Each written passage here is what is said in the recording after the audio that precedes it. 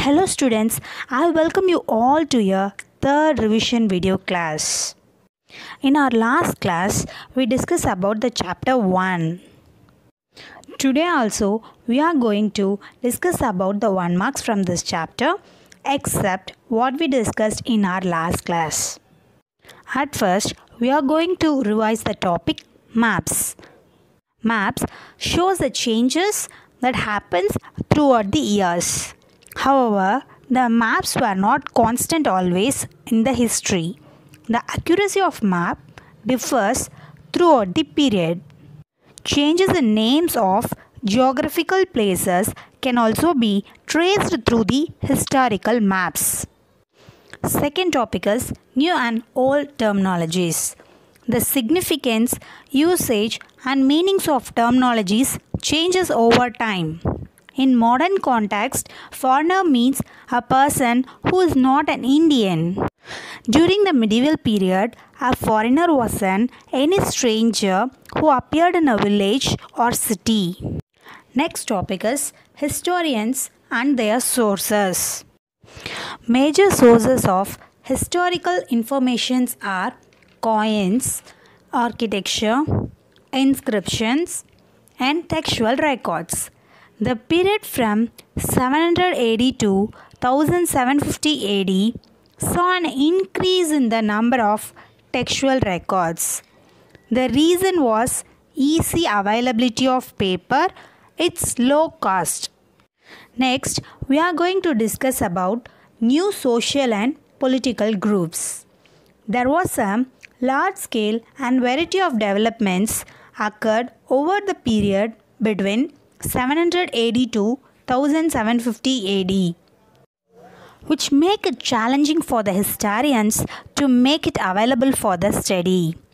Next, new technologies in irrigation, agriculture, craft and warfare appeared in the subcontinent. Then, traveling for trade and exploration also increased. The Marathas, Sikhs, Jats, Ahoms, and Kayasthas also become important in this period. Next one is caste system. People were grouped into jats or subcaste. They were ranked on the basis of their backgrounds and their occupations. Jatis framed their own rules and regulations to manage the conduct of their members. Next topic is region and empire. During this period, many dynasties are emerged. Dynasties like the Cholas, Tughlaqs, and Mughals were able to build an empire that was pan-regional cover diverse regions. Next one is old and new religions. Religion was often closely associated with the social and economic organization of local communities. During this period, important changes occurred in Hinduism. They included the worship of new deities, royal patronage of temples. The teachings of Islam were also introduced through migrants and merchants. Then Muslim regard the Quran as their holy book and accept the sovereignty of one God, Allah. Okay students, next let us discuss about one more question. First Roman filling the blanks. Question number 1. Manuscripts were placed in dash and dash. Answer is libraries and archives. Next, question number 2. Through this period, dash became gradually cheaper. The answer is paper. Next, question number 3. The 14th century chronicler Dash, who wrote his chronicle first in 1356 and other version dash years later. The answer is Ziauddin Barani wrote his chronicle first in 1356 and other version 2 years later. Next one is question number 4. Historians still rely on dash, dash, dash and dash for information. The answer is coins, inscription, architecture and textual records. Next, question number 5. Patrons were a group of the dash. The answer is rulers. Next, second Roman, true or false? Question number 1. In the map made by Al-Idrisi, the names of places are marked in English. Answer is false. Question number 2.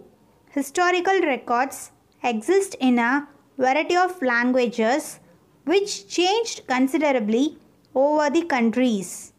The answer is true. Next third question. Minhaj i Siraj, a 14th century chronicler, wrote in Persian. The answer is true. Next, question number 4. The term foreigner was used for the person of the same community. Answer is false. Next, question number 5. The number and variety of textual records increased during this period. Yes, you are right. Answer is true. Next, question number 6. A chivalric code of conduct, extreme valor, and a great sense of loyalty were attributes to Rajputs by their poets and bards. Answer is true. Next, question number 7. The status of the same jati was equal everywhere. The answer is false. Question number 8. Mughal Empire flourished in the 18th century. Answer is false. Question number 9. Brahmanas occupied the most dominant place in society due to their knowledge of English. Answer is false. Next, let me revise the very short answer type questions.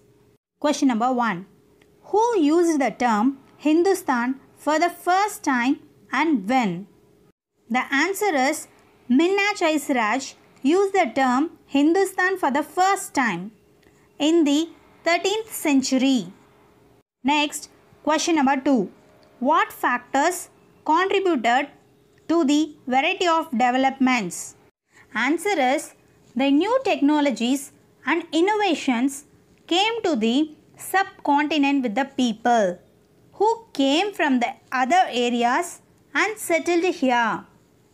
Next question number 3. What was the basis of such division?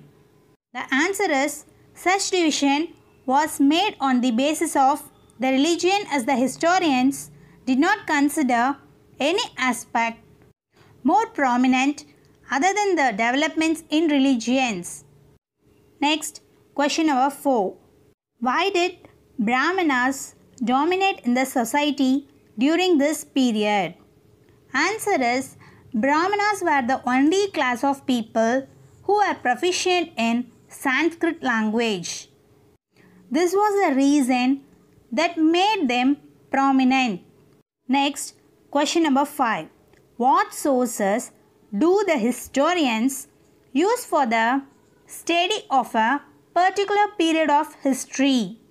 Answer is the historians use the sources like coins, inscriptions, architectures and textual records for the study of specific period. Next, question number 6.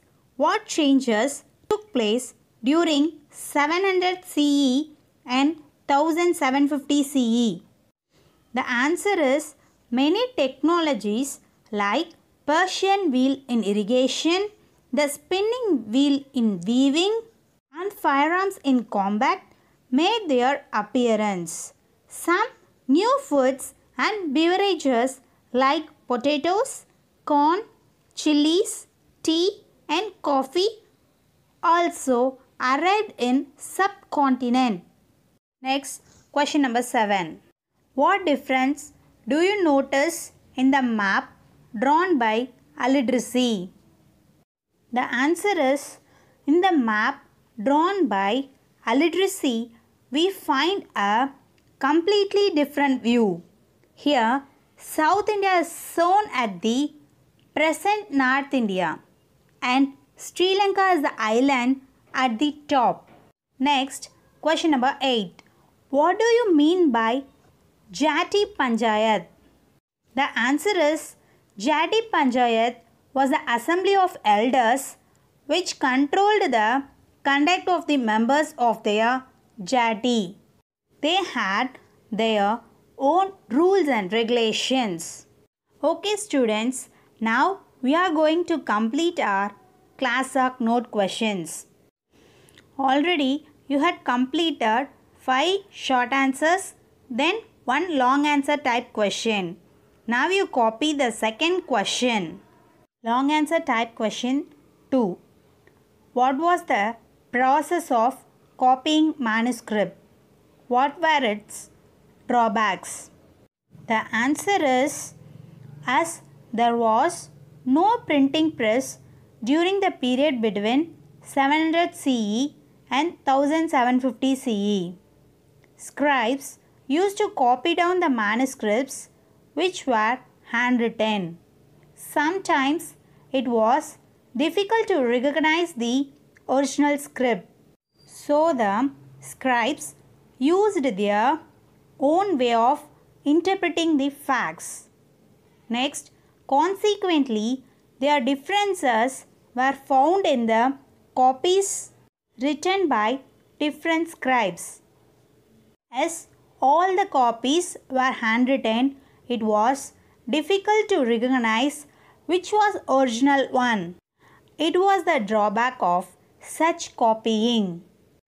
Okay students, I hope you understand this chapter clearly. We'll see in next video class. Thank you students.